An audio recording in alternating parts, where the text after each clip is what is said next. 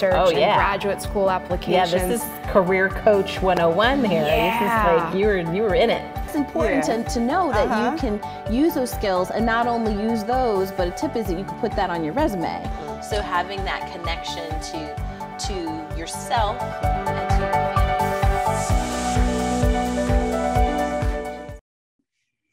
Hello, and thank you for listening and watching Career View Mirror. Welcome back. I'm your host, Joyel Crawford, and today's very special guest is Angela Patton.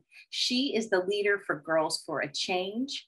Angela has been recognized in the local Richmond, Virginia, which is Virginia area, which is where my aunt lives, which is awesome. Awesome location.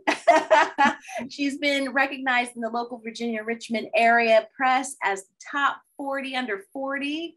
She's established a long term partnership with the Novo Foundation by President Obama at the White House. Champion for Change received the Nonprofit Partner of the Year from Metropolitan Business League and the Richmond Times Dispatch 2019 Person of the Year honoree. She's also an ambassador for who she calls At Promise, as opposed to At Risk Girls and is a serial innovator. I love that title. She is committed to preparing Black girls for the world and the world for Black girls. Welcome, Angela Patton. Thank you. Thank you for having me today. So, how would you specifically describe your career as a serial innovator? Well, um, I would say being a Black woman here in Richmond, Virginia, where your aunt lives, um, she would probably tell you it's not easy. You know, um, it's I'm running a nonprofit that I'm the founder of, and I refuse to play into a lot of the, um, I guess, um, just the system that was already created for fundraisers in the city because I would find myself usually in a room with white older men Mhm. or white families, period, where I'm asking them to fund a program to elevate Black girls.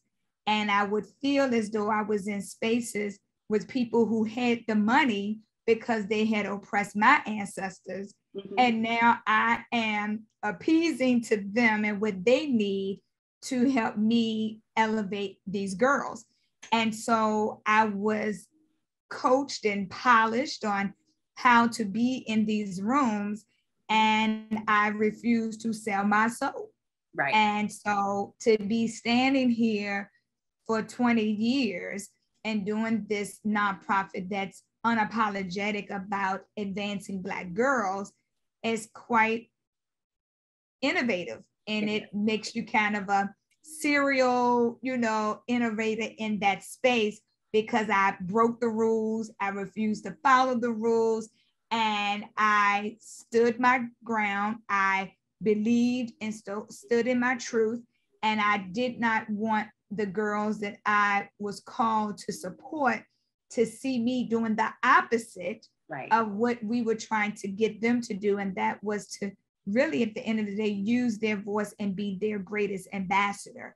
And that's why I say I'm the ambassador for them. So I, I got tapped on the hand a lot and I got put in my place a lot and I cleaned that off Mhm. and I put myself in the rooms and places that were willing to partner with me without me having to give up so much of who I am and what I stood for for Black women that were running and leading nonprofit organizations. So you were- And that's serial. that is serial, serial innovation. Uh-huh. And you were unapologetically driven to to get the mission across to to folks. And and Yeah. I would I would love to ask you an, an additional question about this. You know, when you were like slapped on the hand or put you know put nobody put Angela in the corner, right? No, put, when you put put out.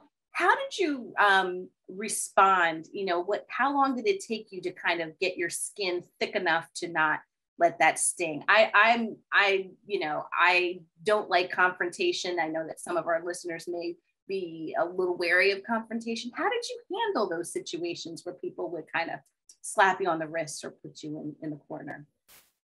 Yes, that is a great question. Um, a lot of times I would just process it for a moment, mm-hmm. and that moment could be days. Like, I'm not even going to say that I noticed it right away. It just would, I would leave the meeting and just something didn't feel right. And I think that what really woke me up is I went back to my own high school one day because I was invited to speak to an entrepreneurship class mm-hmm. that they didn't have when I was in high school. No. I just want to put that out there. but um, I was invited to speak, and most of the students at that time were, uh, when I was attending, were white men and young boys and girls. Um, my family was that family that, um, you know, had the good job and moved to the suburbs and then kind of taught you how to behave in these spaces. Right. And so even at that time, I was rebellious. My mother got a call every day, and my mother would just be like, Angela, I just need you to shut up and do what they say and be happy and grateful and, you know, appreciative that you have this educational opportunity. Mm-hmm. But that sometimes, a lot of times, didn't feel right either. Right. So what I think sparked me was when I was at the school and I was um, at first I wasn't getting the money anyway, right? So I would not it, it wouldn't feel right, and they would still say no, right? right? Even if I would apply and try to do a little bit of it, mm-hmm. I didn't do all of it. Like I wouldn't call the girls at risk, and I would not ever agree to their stereotypes about the girls I was serving or the stereotypes about me mm-hmm. being a Black woman that could possibly do this work for Black people. I dare you. You know, white people come and save our communities, not you. And they trust them more with the money. But I, again, I keep going back. But I, the girls found out that I was speaking to in this group with boys and girls that I graduated from that school in 1990. Mm-hmm. And they said, Do you mind? It must was something I said. They said, Do you mind us speaking to you for like an extra 10 minutes? I said, Sure. And for some reason, these girls felt comf- comfortable and confident to share their experiences in that school. And they were they were the exact same experiences that I had. Nothing changed. And this was in 2000. Mm. and, mm. and it resonated with me when I told the girls like some things that they could do. But it was still different from what I did when I was in high school. Right. I didn't want them to get suspended and expelled or in trouble or get a parent, you know, their parent to get a phone call like my mother did. But the things that I shared with them was because I was a more mature person. Right. Right. I had been through some things, but then I realized that I should apply the same thing that I said to those girls who were getting knocked down, who were not being heard and seen and celebrated, and apply them and being, uh, you know, fundraiser. Right. That was going to be serial again, innovative, and change this system that has left us out. And that was what the girls were part of. They were still part of a system that did not see their value. And that's what kind of gave me my aha moment that I do have the skills. I do have the data. I do know what's happening. And I know what has happened in the past. And I am no longer tolerated. And then I decided that I would ask funders questions too. Right. Right. To make sure that they were a good fit for our organization because all money, not good money for the work that we're trying to do. Our relationships were not, you know, joyful for me to be in a room with you mm-hmm. because of how you made me feel when you looked at me because my hair wasn't correct, my skin complexion was incorrect. So I dare you, Angela, ask them to do anything for these girls because they don't really genuinely care anyway. Right. So also I'm very conscious of who, when I say who, I'm talking about fund foundations, mm-hmm. corporations, and individual donors that I am out here asking to support the girls. That's also being their ambassador too, is to make sure that we don't have funders that really truly are just checking the box. Are you ready to make a commitment to Black girls? Are you ready to be in it for the long haul with Black girls? And are you ready to have a relationship with Girls for a Change and the participants that come in this door? And so when I say things like that, now it saves me time yes. and energy, mm-hmm. and I'm living my purpose. I love it. It's like a huge call to action, and you discovered yeah. it by reflecting what you learned from girls who came from your high school. That's amazing. Yes. I got the chills just listening, and I'm ready. I'm, I'm like I'm ready. Like you know, I'm ready to throw my money at it too. So I, I I I found you, and I was telling you before we all started recording. I was telling telling Angela. Uh, I was telling you that I found you by professionally stalking you. I saw what you were doing. I like that. I, I just love it, and I love the fact that you know, I like to say all the time when you raise your voice, you raise your value. And I think that is a wonderful thing that you are instilling in Black girls because we didn't have we didn't have those resources coming yes. up. And it's so important. You know, we do have our village, you know, of, of family, friends, and what have you that help lift us up. But it's important to have this financial village to help build, build them up. And so it's almost like, you know, I, I have a personal stake in it because of who I am. And I was once a little black girl, right? So it's a fantastic, fantastic program. I mean, how did you get started in the nonprofit space? Did you just kind of wake up one morning and say, this is what I want to do. I mean, I know that that Girls for Change is, has been morphed, it's morphed from, you yes. know, one organization to two or you know, two organizations merged together. How did you how did you just get involved in this career of of um, funding? Yeah well first i want to say thank you for doing your research and knowing that we merged the organization. I founded in the east coast with one in the west coast. So thank you for that because of people like i'm confused what do you do? So now girls for change is the name that we kept was because i really felt like it resonated with everything we were doing Mm-hmm. And so all of the programs that both organizations were providing in different, you know, coasts, as I said, um, became under one umbrella. So that's how it works now. But when I started the one part of the organization, one of the programs now, um, that's the Camp Diva Leadership Academy, I really did not know I was doing what they call nonprofit work and that I needed to have a 501c3 I tell people that my um, journey was grimy and messy. and um, when people call me and they say, can you help me start a nonprofit? I'm like, no, because I really don't know how to do it.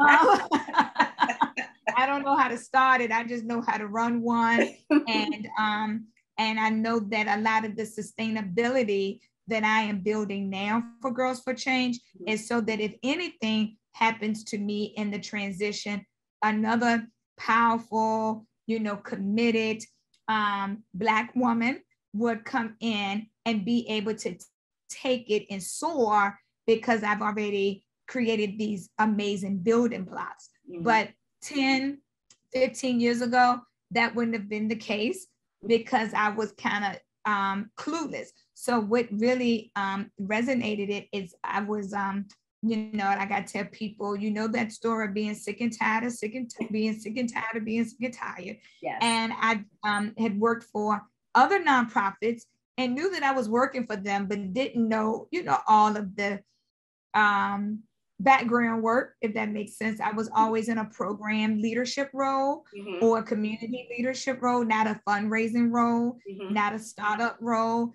I've always worked for older, more established nonprofits.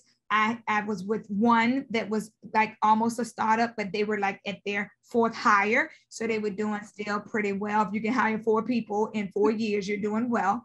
And um, I just kind of just saw Black girls being left out in the nonprofit world um, of programs for youth. Um, and, and, and overall, I saw girls. So at first, my step was like, I'm gonna do something for the girls. But when I realized black girls was left out, it's another thing. It's like kind of like living in the experience Yes. and not um thinking I have all the answers. And when I have an experience or this wake up call or this aha moment, I figure out that that is a issue and Girls for Change is responsible for solving it. Mm-hmm. But at that point, it was Camp Diva was responsible for solving it. So I decided that I would just walk into this nonprofit that I partnered with with another nonprofit, and I said, I want to do something for the girls here. Had you can you help me? She was like, they in the room right there. Go get them. She was like, because I don't know what to do with them. And I had my little like what to do with them on loose leaf paper. You know, I didn't have a curriculum or anything. I just Had your little you notes. know, I- right. And a lot of it, like, and, and some of the notes came from just things that helped my life. It was Mhm. like, they need a yoga class. I'm going to build them a garden. I'm going to do a sister circle. And I Mhm. had, and I, you know, I knew about rites of passages. And why don't know why black people don't know about Kwanzaa? So mine was very culturally you know, relevant. It was very like it was a cultural type of program, but I also wanted like all girls to know. Yes. But then when I got my other wake up call is when I would go in certain neighborhoods, they would say, Well, my daughter can volunteer. So they didn't see a space for their daughter. And. I realized because I was a Black woman and I wanted to do something for Black girls, that people automatically had these stereotypes that they were going to be poor, they were going to be bad, they were going to come from the ghetto, Mhm. they, you know, um, were, and whether they were Black people who had opportunity and privileges, or white people who just like, we don't merge with you that way, but we will come help you Mhm. right? So I wasn't, so it was very hard. So then I, I decided to work with the girls. First group were girls from public housing. But I'm going to tell you that though that those 20 girls that I had on my first my first summer camp taught me more than any girl. Now, now I have girls from all different black experiences, but that rooted my black behind because I thought I was teaching them something, and that was the best lesson I have ever had in my entire life because those girls were already everything that I'm trying to pour into the girls now. It's mm-hmm. just that they never had a place to showcase who they were because they're usually silent. People don't, they were, I'm gonna tell that was where the talent was. That was where girls who cared about their education was. Those girls knew what the issues were. They had solutions. They also tried new things. They were appreciative. They were giving. They were a community. They were all of that. And they were the girls from the hood, as they That's wanted to right. say. And they also were girls who gave me um, the lesson on working with youth as partners because I realized that they did need more than Tai Chi. they did need more than a garden. You know, we build a garden, but they don't know how to cook it now. You Right. know, so that is um at at that moment I realized that I'm learning. And then I also discovered gaps that I didn't even know existed for us because we get comfortable Mhm. in wherever we may be living. Yeah. And that's what made me say, even though the white people didn't want to come, and even though my some of my brothers and sisters thought that their children were too good for this program, I still was going to focus in on black girls and be unapologetic about it yes. because I wanted to show that Black girls could win. I wanted to also get them to the victory. And I did not want the Black girls that lived over here to think something about the Black girls that lived over there. So I was going to focus on strengthening our community Yes. because nobody else would do it. That's so I'm like, we all we got. Mhm. So girls, yes, she live over here and she live over there. She know her dad and she don't know her dad. But at the end of the day, we all we got and we gonna work this thing out. So Yeah. because I had to figure out which battle was I going to fight because Right. it was so freaking many of them. And Yeah. I decided to fight the overall black girl battle. And that's how I got started. And a council person came up to me one day and said, I saw you had an article in the paper. I, I got, my first year I got on the news and an article. And I wasn't even a, um, a 501c3. And she said, How can I make a donation? And so she asked for like a tax letter. and you were like, what's that? And she was like, Baby, I'm going to adopt you. She was an elder and I'm going to teach you. And she allowed my second year to come under her nonprofit as a fiscal sponsor. Wow. And she filled out my entire first application um, for a grant and taught me how to do it. She helped me get my bank account.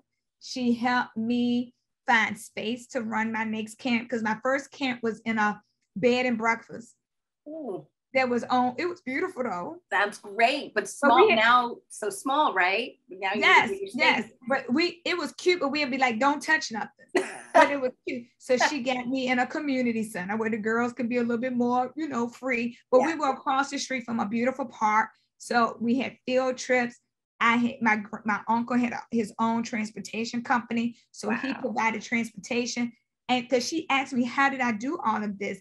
And I said, I pulled on my community and and my resources, and I did a cupcake sale and a fish fry at the barber shop and the beauty salons. And she said, Do you already know that you are a fundraiser?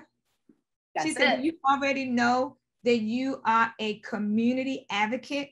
She said, Do you know that you already know how to utilize your resources? And she just helped put the, the paperwork for me in place and helped me elevate a a skill and a passion yes.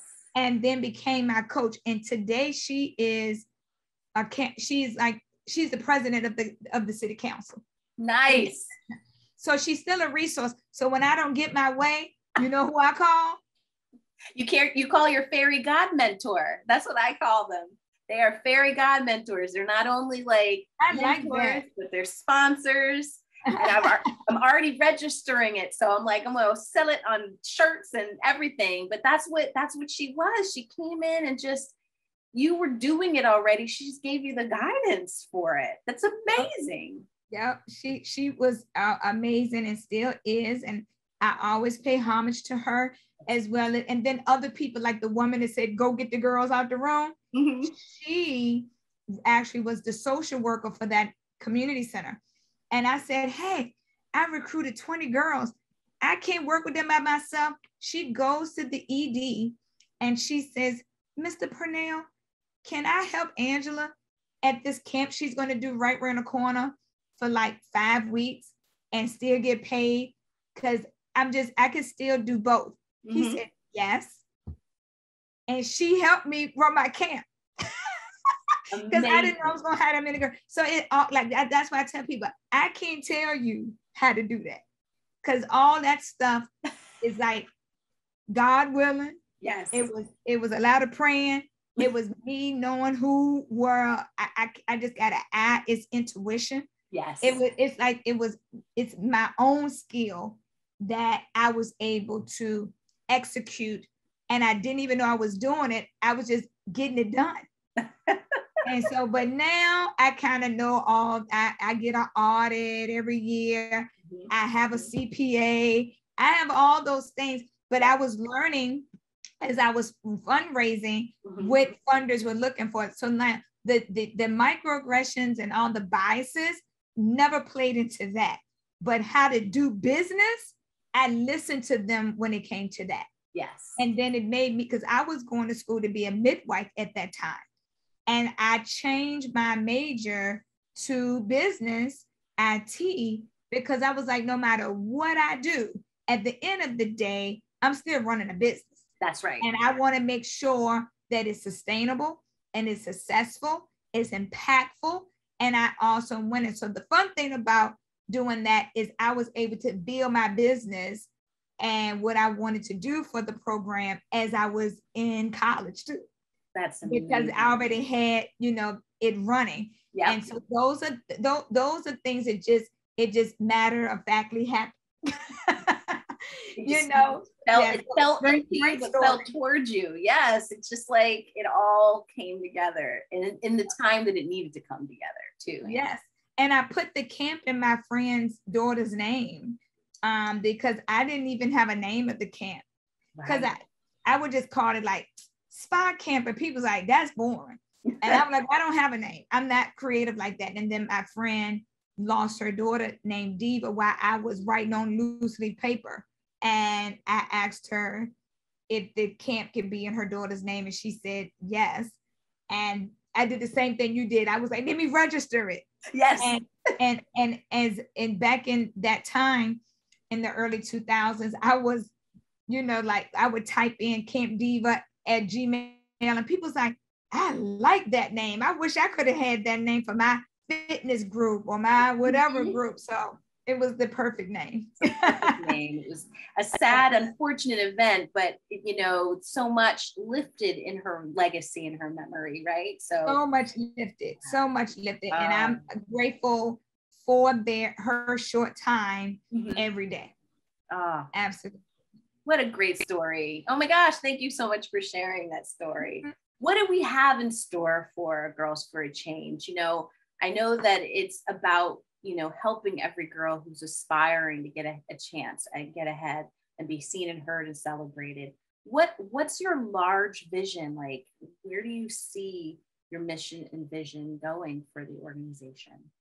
Well, one of the reasons I, I wanted to keep the name Girls for a Change, because as we decided to merge with them, you know, one idea was do we go with Camp Diva or do we keep Girls for Change or is it a new name? Mhm. And why why I decided to keep it was because it's not like, you know, pretty Afro puffs, black girls in the ponytails. Right, I right. love those and I, I, I connect to it for sure.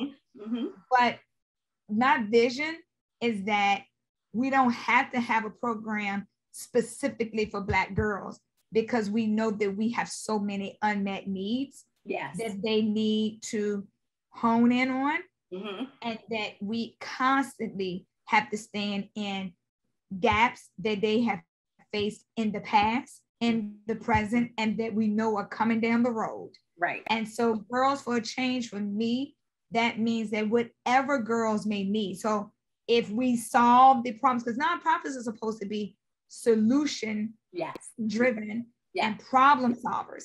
And so if we at some point, I know it's not in my lifetime, but I'm building a legacy so that they can have the strength to solve these problems Black girls face.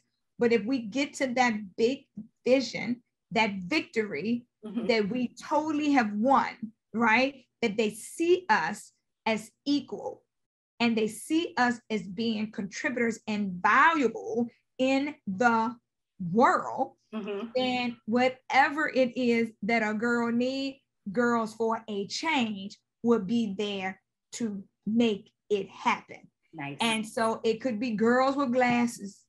I hope we sometime get that serious. You know, that simple. Mhm. we we don't hire girls to wear earrings. And then Girls for a Change puts together a campaign, does some advocacy work, right? Yep. And we create a plan and we have a social change project. And then you understand the girls with earrings matter too. Yes. And then we'll be done in a week. that's it. And so that, so you know, it's kind of like that's what for me, I was just like, whatever girls, because I want all girls to be seen, heard, and celebrated. It's just that Black girls face a lot of barriers that have been avoided for far too long. And as long as I am here, I am going to make that my commitment to solve as many of those issues and address all of those issues. Oh, that's fantastic, Angela. I, I want to ask you all the questions, but I know that our time is running short I know that your time is limited. But I want to ask you one of my favorite questions. And it's if you could share what you know now with the Angela in the past, what kind of career advice would you give her? Wow, that is a new questions, right? you know, because you know, I, I, it's so funny. I, I share this with people a lot that my first job was at a daycare center. I mm-hmm. was 15 years old. All my friends were like at food places, retail. They were, I even had a friend who worked at the library, which was kind of cool. But I was the only one working with children. And I used to get teased. They stink. They got snotty noses. You got to work in the infant room and watch white poop. That's disgusting. And so one of my best friends told used to always say, whatever you do when you grow up, I bet you would be with children. Uh-huh. She would always say that. And I was like, I'm not working in no daycare center, so and so, so all my life. And so when I decided to become a midwife, she said, See, I said, No, I'm working with the mothers. Mm-hmm. And I would push away from that. Mm-hmm. And then I got another job while I was in school working at the um, what do you call it? The um emergency ch- shelter. Yeah, oh. emergency shelter for women and their children. And my friend would say, See, you're doing it again. And I'm like, No, I just help the people come in and work with the mother. And then they do that. She was like, Uh uh-uh, uh, you still there. And then um, one day we did a fashion show and it was one for children. And she would always remind me that I keep falling into this space with children.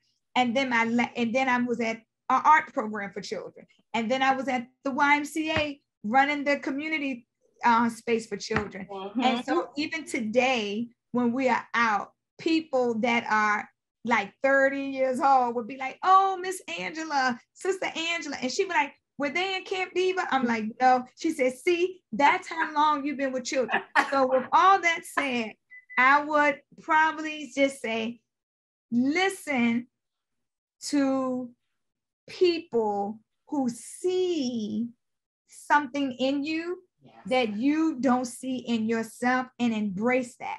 I had to tell my 70 year old real godmother that the other day because she's an amazing seamstress. Mm. And she, you know, but she's 70. And back then, people just did not compliment Black women. No. And so my daughter is taking a new class with her. And I was telling her I was really excited about this one particular session because I said, what I tell people all the time is you are dynamic when it comes to that. And you're really into your craftsmanship. And she was like crying about me just telling her she, how awesome she was as a seamstress. And she's been sewing since she's been like eight years old. And she said, nobody's ever told me that before. And I said, they probably did, but just like you kept trying to push me away, she'd be like, oh, girl, listen, oh, girl, no, oh, no, I ain't gonna do that. I'm like, I need for you to pause for a moment, godmother, mm-hmm. and pat yourself on the back and say, I am good. I do know what I'm talking about. And no, I didn't go to FIT, but I could teach a class, right? That's I know right. you're self-taught and you know what you're doing mm-hmm. and you know what it be, means to be a good seamstress. And I should have, I would have told my child self, embrace what people are telling you. Because I would always hear people tell me to be quiet and Angela, you doing the most and you don't say, say that. And but I never listened to when people were trying to tell me I was great at something and that I could, and that this is what I probably should pursue. We all we always hear and embrace the negative, yep. but we don't want like absorb the positive. Mm-hmm. We say, "Oh, be quiet! I don't want to hear that." And that's what I would say to my younger self. Absorb the positive. Yes. Listen and and own it. Listen and own it because own it, it. It's really part of you. You kept inherently yes. going towards the children, going towards the children, and here you are making a change for girls for a change. I'm so grateful that you came on the podcast today. I'm so excited about just keeping in touch with you. So I don't, now that we know each other, I don't have to feel so shady about professionally stalking you. No. and hopefully we're following each other on all of our social media platforms. Yes. I know we're at Girls for a Change. And so please continue to follow us. You know, we respond. So yes. let us know how we can help you too, because it's all about helping each other because we all we got. That's that is indeed correct. And I'm going to put all of your information in the um, the box. I want to thank everyone for listening. Thank you, Angela, for joining us. We're, you can find Girls for Change online. I'm going to put the links in the box. If you like what you heard and saw, please subscribe and like and tell your friends to listen. And if you're interested in being a guest, reach out to me. Uh, I mean, I'm looking for more guests. I, and please don't make me professionally stalk you, you know, without getting, I don't want to get, or Angela was kind enough not to call the cops on me. So Absolutely thank, not. Thank you. Thanks for, thanks for listening. Thanks for joining and um, have a great day, everyone. Make it great. Thank you.